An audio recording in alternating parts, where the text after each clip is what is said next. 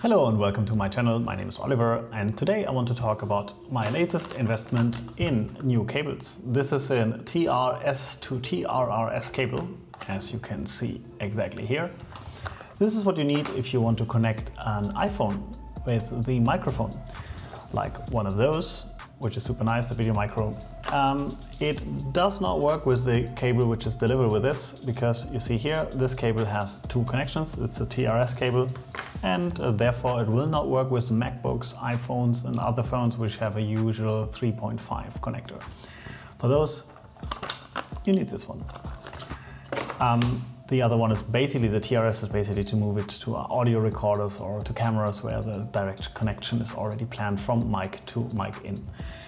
So in my case, I want to use for the future the Wireless Go solution from Rode. Um, I'm wearing it right now, which is um, nice and handy to use it on the train because I usually started to record on the trains, but it would pick up uh, a lot of noise from the camera mic.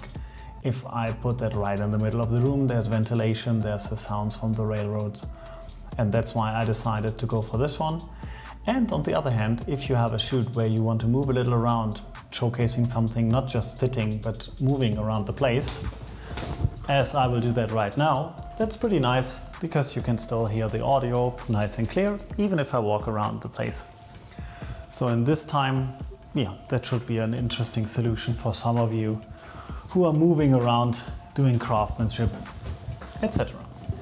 So the second part is if you want to have a look here, then you see this is basically the receiver and the receiver shows you also the gain level, etc. So that's nice. Um, you can adjust it on the receiver and on the other hand, you can adjust it on the camera or in post, but to just to have a quick understanding um, where your levels are, have a look at the Rode, but also have a look at your recorder, whatever that be. In this case, it's a Zoom recorder, the Zoom H5 um, make sure that this uh, aligns, that you have a proper level and don't go over 0 dB because then you have clipping sound and like this sounds bad. Yeah, I think that's it from my side for today. I hope you had a little information in this one here and you enjoyed it. If you have any questions, leave it down in the comment section below. I will be happy to answer it. And uh, this is for now. See you next time.